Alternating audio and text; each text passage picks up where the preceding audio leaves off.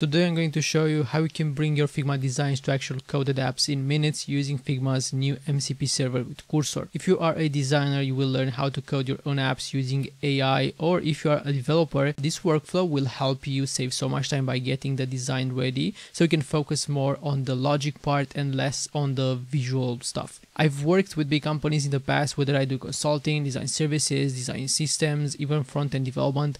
So I have a bit of history in this industry. And the reason I'm mentioning this is because what I'm going to show you isn't something that I think we'll forget uh, about in a couple of months, but rather shift the way designers work with code and vice versa. So in this video, we'll cover some basics first because I don't know your background and skill with coding. So I'll probably start with the fundamental uh, stuff, but I'm expecting a degree of familiarity uh, if you are already a developer, feel free to skip the first part of the video.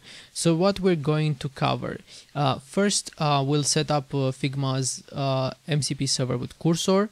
Uh, then we're going to set up a Next.js uh, project from scratch. And finally, we'll test drive a couple of screen pages, uh, which I think uh, will amaze you. Yeah, so let's get started. Something really quick before setting up the code environment. Uh, let me quickly explain what MCP means in my own words. Obviously, I'm not an expert. If you need in-depth information, uh, you should look on the official page. Basically, MCP is simply a protocol that allows certain apps to communicate uh, with an AI on some predefined ground rules. Uh, simply said, it's a way that uh, AI knows how to ask for information or perform actions on our behalf. For example, the Figma MCP uh, server has six tools that Cursor or any other AI tool can call uh, if it if it requires. Uh, if the if the AI requires some metadata from the Figma file, for example, it will call the get metadata tool and get the required information. So the first thing we want to make sure uh, is we have our Figma MCP server enabled in our in our Figma, and we can do that from the Actions panel here.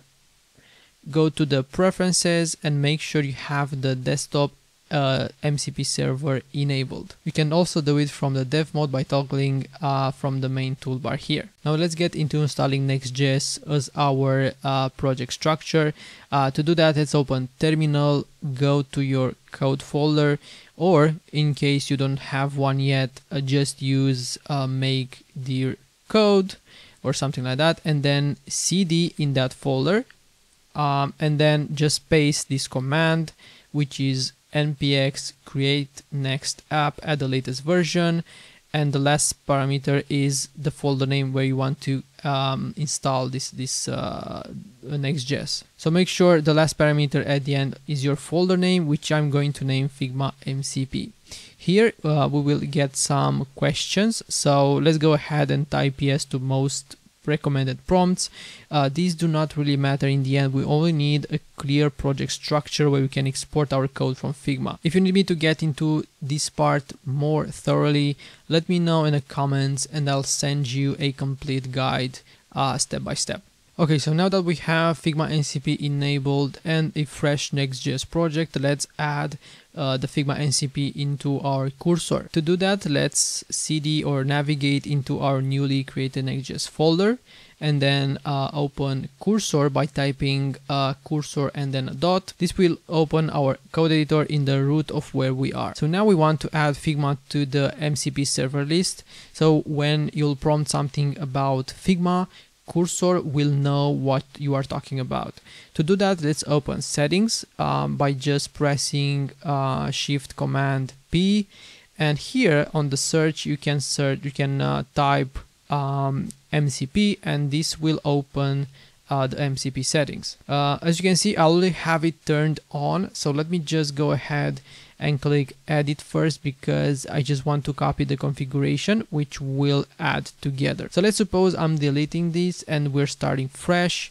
Um, let's click add custom MCP and here let's add a new object called Figma um, and here we'll add the URL attribute I just copied a minute ago. So now make sure you have the correct IP, which is uh, 127.0.0.1, which is your local host with the port 3845 slash MCP. Once we have this, um, let's uh, press, let's save by pressing Command uh, S, and go back to the installed servers where you should be able to see that cursor has already requested those tools uh, from Figma MCP so proof that it works fine. As we said at the beginning of the video these are all uh, the the tools on AI can request from Figma so we can get a screenshot, uh, metadata, create design system and all that fun stuff. Now that we have everything in place, uh, we have our MCP enabled, cursor is linked with Figma and we already have a, a, project structure with Next. It's ready to actually test drive. So for this example, I'm using a library that I designed myself, which is based on MUI's Material React library.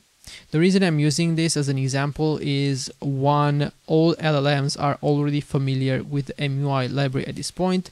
Uh, so they are very good at exporting code for uh, MUI material library. The second reason is that Figma's uh, MCP can send uh, layer structures through the metadata object, which helps in generating the code with my exact components that I've built my screens with, uh, and not using some custom created component uh, in, in context. So I'm only interested in using components available in the MUI library because I think that's much, much better to have a design library and not create everything from scratch, especially when it comes to bigger application, bigger apps that involves maintainability along the way. So let's start with a very simple, straightforward example, which is a login page designed with, uh, as you can see, if I hover uh, this component, I can see I'm using card header, which is an instance of a component, text field as well, and, and so on. So let's copy the link from this exact screen because this is what uh, we're going to prompt into cursor. Okay, so for this prompt, I already have something written here.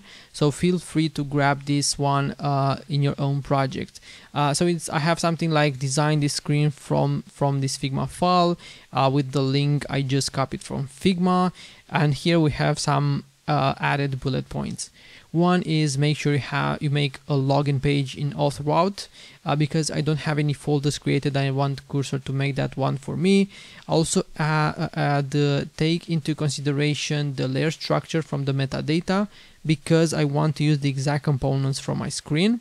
Uh, and uh, the last bullet is use only MUI material components. For example, button is button because um, the namings are slightly different from the API in Figma. Oh, and also don't change the design, make it as exactly as in design. Let's go ahead and hit enter. We can see that it called some tools to get the metadata. It got screenshot from my screen and uh, we'll see what it does. Let's check out what it has exported so far, which at first glance it looks fine except some uh, some things like the data node ID which we'll delete a bit later.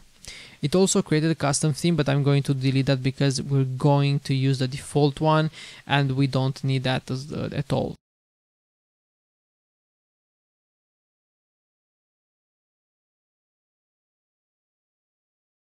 Let's check out the actual page that it has exported.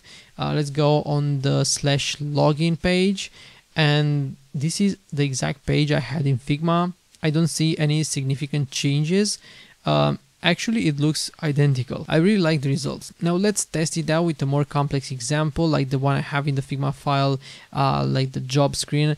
Uh, it's not super complex but it proves the point of handling more um, you know complex screen jobs uh, we'll use the same prompt, design another page using the link with the screen, which I'm pasting in.